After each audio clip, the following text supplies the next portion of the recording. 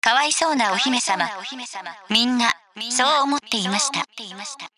王は決断して生まれた。ばかりの娘のその右の目を山左の形に目を竜の神へと捧げたのだ神々は供え物を大変喜んだようだった。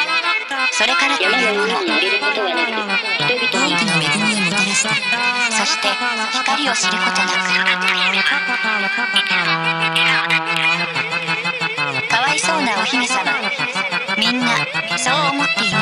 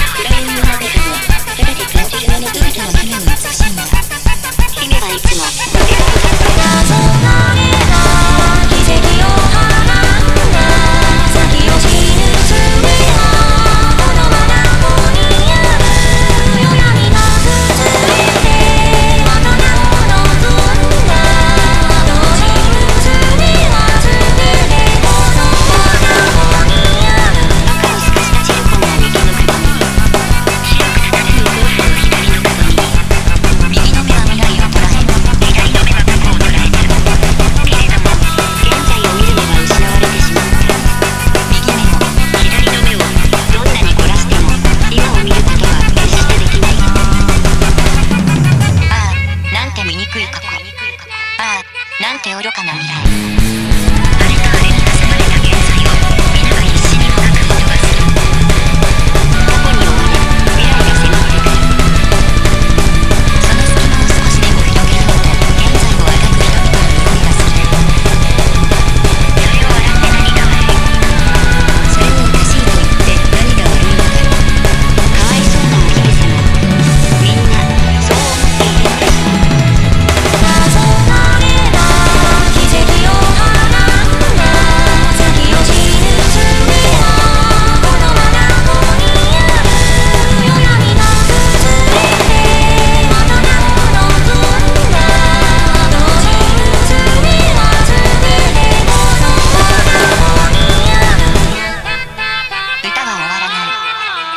は止まらない。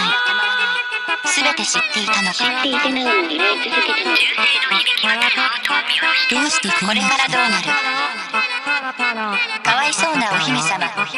みんな